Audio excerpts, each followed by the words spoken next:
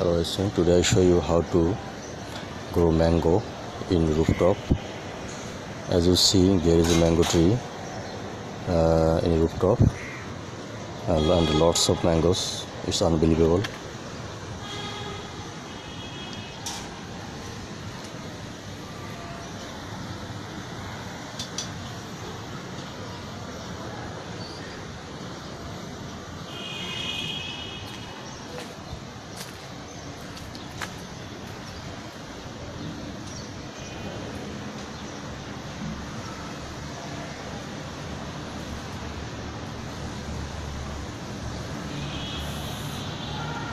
So if you, if you grow like that, uh, you can uh, you can compensate your demand for mangoes. Hope you will grow it, and don't forget to subscribe to my channel.